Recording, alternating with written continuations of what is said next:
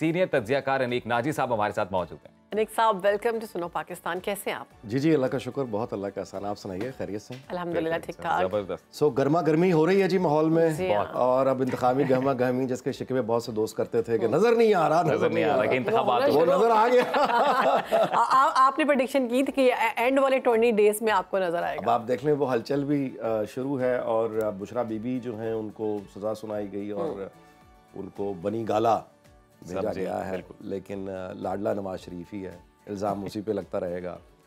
और दूसरी बात ये कि ये भी आपके सामने किरदारों का फ़र्क देखिए कि मरीम नवाज़ जो हैं उनको भी ये पेशकश की गई थी कि सहाला आपको गेस्ट हाउस में अच्छा तो उन्होंने कहा था नहीं। उन्होंने कहा कि नहीं वो अपने वालिद के साथ उसी जेल में। रहेंगी जिस तरह से वो रही। तो ये कन्विक्शन होती है जो आपकी अपनी फैमिली के साथ कमिटमेंट हाँ शो करती है। बुशरा बीबी ने ज़ाहिर है कि वहाँ पर रहना पसंद नहीं किया उनके शोहर लेटेस्ट वाले मतलब जिस जगह पे हैं उन्होंने वहाँ पे उनके साथ रहना पसंद नहीं किया बल्कि उन्होंने सहूलत बस ठीक है। ये आपको यानी आपकी जो कमिटमेंट एक तो ये। दूसरा ये कि मैं ये समझता हूँ कि हमें ये भी देखना चाहिए कि ये कोई लुत्फ लेने की या जश्न मनाने के लम्हात नहीं है। जी जी।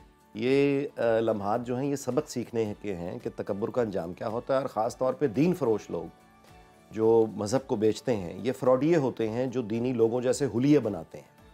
ये बिल्कुल वैसे है जैसे कोई जाली डॉक्टर यानी कोई आदमी डॉक्टर जाली बनने के लिए सफ़ेद कोट पहनता है या एक आदमी जो जाली फ्रॉड जो पुलिस की जाली वर्दी पहन ले और डकैतियों पे निकल जाए ये बिल्कुल वही फ्रॉड होते हैं जो फ्रॉड करने से पहले ख़ास तरह का मजहबी हुलिया बनाते हैं और उसके बाद ये लोग फ्रॉड करते हैं। ये फ्रॉड जो है ये अपने अनफॉर्चुनेटली हमारे यहाँ बहुत मकबूल रहा है। जाली पीर देख लीजिए जाली फ़कीर देख लीजिए ये जाली जादू टोने के इश्तहारात और जादू। अफसोसनाक बात यह कि अच्छे खासे पढ़े लिखे लोग भी इस फ्रॉड में आते हैं। ये आला तरीन सतह का फ्रॉड था। हमारी आवाम के साथ तो बड़े अरसे से फ्रॉड हो रहा है। इन मासूम लोगों का क्या कसूर है? ये कब अब आप देखिए मिसाल के? तौर पे जुलाई 2022 में एक खबर छपती है बरतानवी अखबार है फाइनेंशियल टाइम्स ये बहुत one of the most respected अखबार है।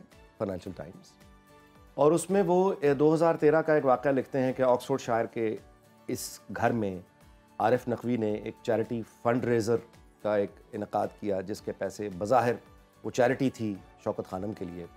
लेकिन उसमें जो उसमें जो पैसे जमा हुए उसमें सिर्फ़ यूएई के एक शहजादा था जिसने दो मिलियन पाउंड की चैरिटी दी। चैरिटी। और वो पैसा जो है वो वाया दुबई सीधा पीटीआई को पहुँच गया। पाकिस्तान के कवानीन के मुताबिक कोई भी सियासी जमात बैरून मुल्क से फंडिंग नहीं ले सकती। बिल्कुल। तो इनका जो बैरून मुल्क फंडिंग वाला केस है वो तो अब कोई बहस ही नहीं कर रहा वो तो कहीं सामने नहीं है। एक लीडर पे लेकिन तो लेकिन आप ये देखिए कि वो फाइनेंशियल टाइम्स में जो छपी हुई खबर है उस वक्त पीटीआई के तमाम लोगों ने ये दावे रिकॉर्ड पर मौजूद है कि हम बरतानवी अदालत में लेके जाएँगे ऐसे की तैसी फेर देंगे झूठा इल्ज़ाम है। आज तक कोई अदालत नहीं लेके गया उस खबर पे। फंडिंग के इल्ज़ाम एक लीडर पर रहे फिर हमने नहीं नहीं अकाउंट सामने फाइनेंशियल टाइम्स ने खबर छाप दी ना। वो तो अब आप या तो उस अखबार को अदालत में लेके जाएँ। एक लीडर के ऊपर फिर ये भी इल्ज़ाम रहे कि उनके हमसाया ममालिक के जो कारोबारी बरादरी उनके साथ ताल्लुकात हैं और वो हम्म, पे मिल्स हैं। अब देखिए ना कैसी छुप के मुलाकातें होती जी अब देखिए बात यह है कि वो एक होता है इल्ज़ाम यानी मैंने और आपने लगा दिया। ठीक है। एक होता है कि एक रिप्यूटेबल प्रोफेशनल ऑर्गेनाइजेशन वो पब्लिश करती है इल्ज़ाम। अब उसके बाद आप उसको बरतानिया में आप उसको अदालत लेके जाते हैं कि ये तो आपने जो खबर छापी है अब इसको साबित करो। यानी इसका सबूत दो। इसका मतलब ये नहीं कि अपना सोर्स डिस्क्लोज करो। इसका मतलब ये है कि जो आपके पास एविडेंस है जिसकी बेस पर आपने ये खबर छापी है एविडेंस लेकर आए अदरवाइज़ आपको हरजाना देना पड़ेगा। हो अब उसके मुकाबले में एक ऐसा इल्ज़ाम जो इल्ज़ाम ही है उसके अंदर कुछ भी नहीं है। अच्छा लेकिन हमारा मसला ये हो गया कि हम बगैर तहकीक किए बगैर बढ़ाते तहकीक हम बात को बढ़ाते हैं। और वो एक यानी झूठे के लिए इतना काफ़ी नहीं है कि वो बगैर तस्दीक किए बात को आगे बढ़ा आगे बढ़ा कल जो फैसला सुनाया गया उसमें उसके बारे में ये बातें की जा रही हैं कि जो जज हैं वो सेम है। बशीर अहमद साहब इन्होंने नवाज़ शरीफ को फैसला सुनाया था लेकिन सजा बरकरार नहीं रह सकी। तो क्या ऐसा लग रहा है कि बानी पीटीआई की सजा भी बरकरार नहीं रहेगी? और तो वही दोनों का कोई आपस में ताल्लुक और नहीं है, वही ज़मीन आसमान का फ़र्क है। देखिए ना अब एक झूठा प्रोपेगेंडा एक जहन साजी ये भी की जा रही है। हम्म। पहली बार आपकी उसका जवाब दे दूँ कि वो जो जज साहब हैं जी जी। जब नवाज़ शरीफ को उन्होंने ये सज़ा सुनाई थी हम्म। तो यही लोग और यही सारी के सारे सपोर्ट बेस जो है ये उनको कह रहा था कि ये माफिया के सामने डट गया ये तारीख में ज़िंदा रहेगा ये एक अजीम आदमी है ये एक ठीक अब करप्ट हो गया। न्यूज़ रिपोर्टिंग अगर आप गौर करें झूठे न्यूज़ चैनल वो उन्होंने जो न्यूज़ रिपोर्टिंग चलाई है वो बकायदा जिस तरह शादी हो रही है को जश्न का समा है मिठाइयाँ। जा रही थी। ठीक है? आज देखिए कि वही दायरा जो है वो आगे दायरे दायरे के सफ़र में ये होता है। Exactly exactly. आप नारा तब्दीली का लगाते हैं हकीकत ये होती है। साइकिल कंप्लीट हो गया। साइकिल का तो इसका मतलब ये है कि ये जो हमारा यानी हमें सबक इन चीज़ों से लेना चाहिए कि ख़ास तौर पे ये जो फ्रॉडी हैं जिनकी मैं ज़िक्र कर रहा था अभी रमज़ान मुबारक आ रहा है। मैं आपको एक चले मज़े का किस्सा सुनाता हूँ। एक झूठा न्यूज़ चैनल है कराची का बहुत बहुत अदालतों में झूठ के जुर्माने वो दे चुका है। अच्छा। वो करते हैं रमज़ान ट्रांसमिशन। अच्छा अब रमज़ान ट्रांसमिशन में एक एंकर साहब हैं दुनिया से जा चुके हैं। वो पहले करते थे उसके बाद एक दूसरे एंकर साहब आ गए उन्होंने कहा कि मैं करूँगा। तो वो जो पहले वाले एंकर हैं उनको बड़ा गुस्सा आया उन्होंने इससे कहा कि तुम अपना करंट अफेयर्स में रहो इधर मत आओ। उसने कहा जी मैं इसलिए आना चाहता हूँ कि पैसे बहुत हैं यहाँ ज़ाहिर है स्पॉन्सर लंबे और मैं कर सकता हूँ। और मैं कर सकता हूँ तो उन्होंने करना शुरू कर दिया। अब उन्होंने मुझे ये बात बताई तो कहने लगे कि वो अब वो बेसिकली शिकवा गिला कर रहे थे उन एंकर साहब का जिन्होंने रोका था कि यहाँ मत आओ। उनके बारे में शिकवा कर रहे थे कि वो जो जहाँ से सहरी का खाना और अफ्तारी का खाना आता है हमारी टीम को उन्होंने धमकियाँ दी उसे फ़ोन करके कि तुमने वहाँ पे नहीं भेजना। भे, भे, भेजना नहीं है। तो फिर मैंने अब मैंने कहा हुआ क्या? आप कहता अरेंजमेंट ये हुआ कि वो चूँकि उसने धमकियाँ दी थी। तो वो उनसे डर गया। अब उसने मुझे आके ये कहा है कि जी माई बाप मैं भेजूँगा आपको भी सहरी का खाना भी भेजूँगा अफ्तारी का भी भेजूँगा बर मेहरबानी मेरा नाम एडवर्टाइज मत कीजिए।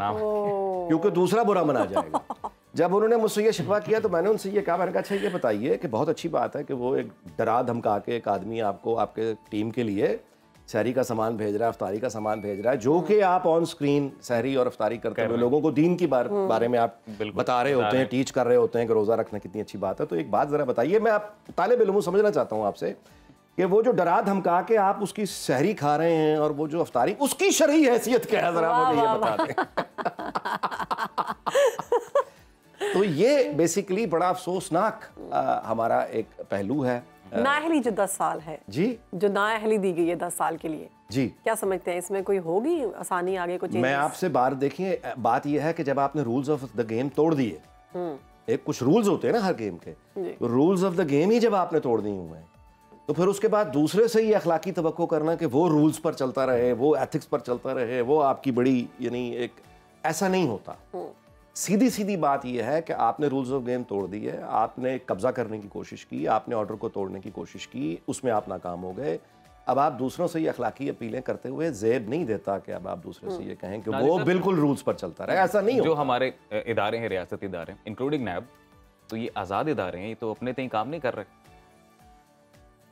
मतलब मैं आपके सवाल का मतलब भी समझा। लेकिन अगर आप जैसे बात अगर आप कह रहे हैं कि वो आज़ाद हैं और अपने तई काम कर रहे हैं तो फिर आपको इतराज किस बात का है? तो यही बात फिर माजी में भी अप्लाई होनी चाहिए ना तो फिर कैसे हम ये कह सकते हैं कि तब ये अंडर इन्फ्लुएंस थे और अब आज़ाद हैं? मैं कब कह रहा हूँ? मैं तो ये कह रहा हूँ। मैं तो कह रहा हूँ कि रूल्स ऑफ़ गेम तोड़ दिए ना हमारे यहाँ रूल्स ऑफ़ गेम जो तोड़ने का अख्तियार आमतौर पर एक ही जगह पे होता है। ठीक है they can get away with anything तो बाकी अगर आपने उनसे डील करना है मैं यही तो आपको फ़र्क बता रहा हूँ। कि एक जानब से अब शहबाज शरीफ पे भी बरतानवी अखबार में कुछ एलिगेशन लगे वो उन्हें कोर्ट लेके चला गया जीत के वापस आ गया। इसहाक डार पे बरतानवी अदालत में एलिगेशंस लगे वो उन्हें कोर्ट ले गया जीत कर आ गया। नासिर भट्ट नाम का एक आदमी है उसके नाम से झूठ नशर हुआ वो बरत- वो पाकिस्तानी चैनलों को बरतानवी कोर्ट में लेके गया जुर्माना भी जीत के आ गया गर्दन से पकड़ के जूते भी मारे माफिया भी नशर करवाई। तो एक तरफ़ ये ग्रुप ऑफ़ पीपल है इनके खिलाफ जो भी झूठी खबर छपती है ये अदालत जाते हैं पैसे भी लेते हैं माफिया भी मंगवाते हैं रिलीफ भी लेते हैं। दूसरी तरफ़ ये नाजी साहब ये जो फैसला है जे- सिर्फ़ नारे लगाते हैं कभी एक एक सहाफी को दुबई की अदालत में ले जाने के ये दावे कर चुके हैं मैं तुम्हें दुबई में अदालत में लेके जाऊँगा आज तक नहीं लेकर गए। फैसला जो आया है इससे सियासी तकसीम अदम इस्तेकाम बढ़ेगा या कम होगा? मैसेज है it is a straight message ये बेसिकली झूठा प्रोपेगेंडा जो मुस्तकिल किया जा रहा है ये वही लोग हैं जो कह रहे थे इलेक्शन नहीं होंगे। ये वही लोग हैं जो कह रहे थे कि एक वो निकलेगा एक आदमी और पूरा निज़ाम को उल्टा देगा। ये वही लोग हैं जो एक यानी 2024 आ गया है और ये उर्तुगुल का घोड़ा दौड़ा रहे हैं कि एक आदमी आएगा उर्तुगुल के घोड़े पे और सबको पे। ये वही लोग हैं ये उनका झूठा प्रोपेगेंडा है ये मजीद झूठा प्रोपेगेंडा अब क्या कर रहे हैं? वो ये कर रहे हैं एक आला तरीन शख्सियत गई है जी मिलने के लिए जेल में। अच्छा। अच्छा। और वो गई है वो मिलने के लिए बानी पीटीआई बानी पीटीआई ने इनकार कर दिया मैं कि मैं किसी के तरह डील नहीं करूँगा यार कमाल हो गया।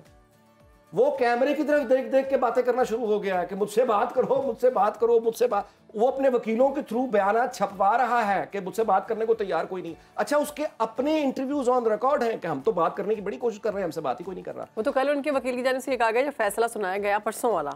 साइफर वाला तो उन्होंने कह कहा लगाया और उन्होंने कहा ये तो मुझे पता था। वो मुस्कुरा रहा था। ये पूरी कंपेन चली है कि जज फैसला सुना रहा था। और वो कह के और वो मुस्कुरा ये सपोर्ट बेस होती है ये वो नादान दोस्त है नादान दोस्त है जो मोहब्बत में वो देखे कि मक्खी इसके चेहरे पे बैठी है तो वो ईंट से उसके चेहरे पे मारता है, ठा उसकी मक्खी मारने के लिए उसकी मोहब्बत में। ये वो सब ये उस सपोर्ट बेस की वजह से अब वो पीछा छुड़ा रहा है माफिया मांग रहा है। ये कह रहे हैं खलोता है जी खलोता है।